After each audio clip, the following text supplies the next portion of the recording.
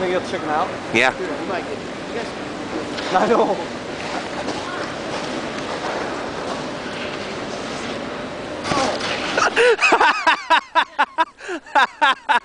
Oh.